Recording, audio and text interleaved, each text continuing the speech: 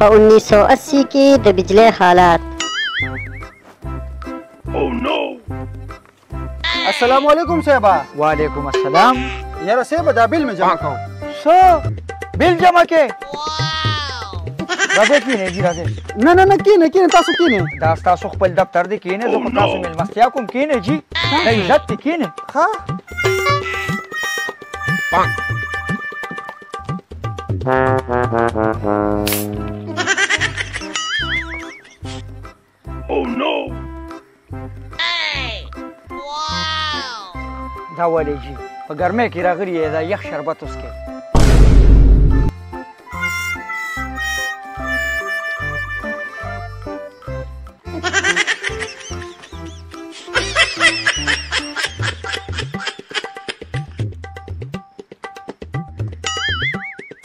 ها ګرانه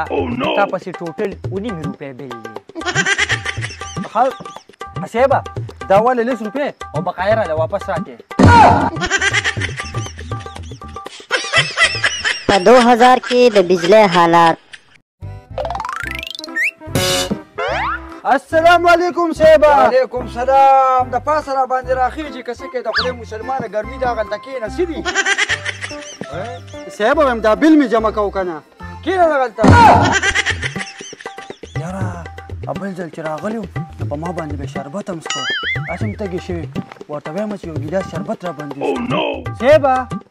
ویم هغه هغه تور شربت کوم میلو شوم دا مریم داسې اوچه اوچه ده تږي شوي یم رخصه مړه شربت تر وخت نی وره یو ګیلاس اوبه ودر راواله یاره یو خو دا خلک هم د کور نه وږي تږي راشي ته به یې جوړ کوری نشته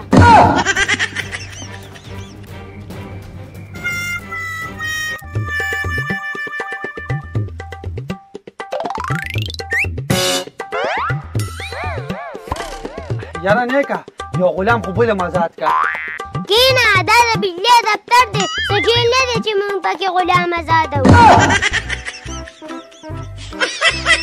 یاره استاد دا بل له جمع کا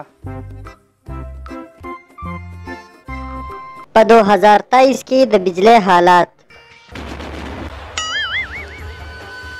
جواب دی والا ته ما ته دا وایا چې دا یو لک روپۍ بل ما پسې د سره راغلی دي ما ګره واشنګ ماشین نشته فریج را کړی نشته اے سی را کړی نشته اے سی را کړی نشته نو دونه بل والی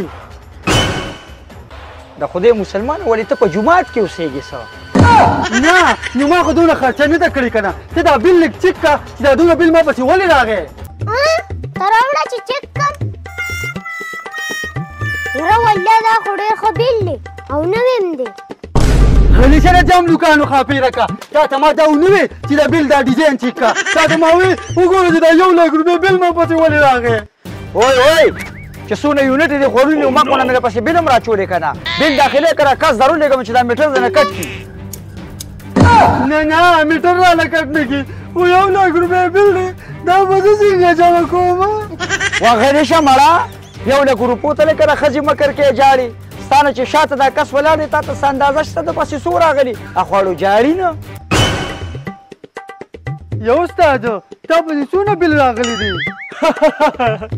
پوره پنځه لکه یلکه ته خو ما ته داسې غریب غوندې کې سړی ښکارې ما ته خو داسې نه لګي چې ته به دا پنځه لکه روپۍ جمع کړې بل خلک داسې جمع کوي پټکه پټکه یاره صیب دا پیسې وره دا بل لاله جمع کاله او کنه دغه شانتې په وخت بل جمع کوه ګینې ستا خو لرې سپا دی نو ګردې به دنه څوک واخلي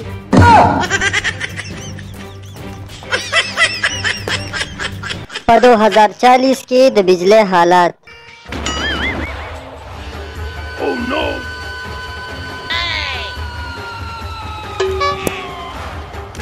دا والا بلو او دا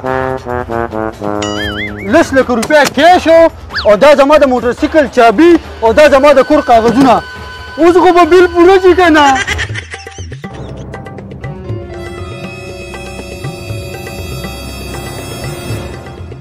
نه نه